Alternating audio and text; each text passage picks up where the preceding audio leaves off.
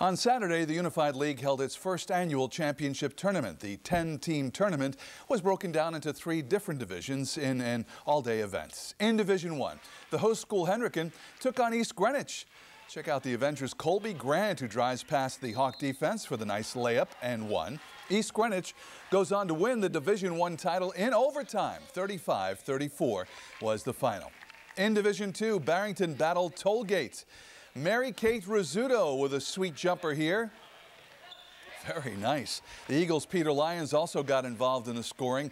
Takes the nice pass and shoots it up and in. A total team effort for the Barrington Eagles as they win the Division II title. 34 to 26 was the final. Congratulations. And finally, Woonsocket played Smithfield for the Division III title.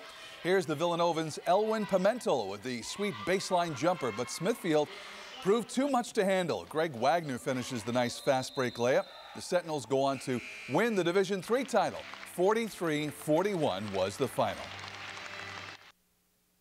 It feels great to be part of this. I think this is one of the biggest things that's happened in high school sports in 30 years.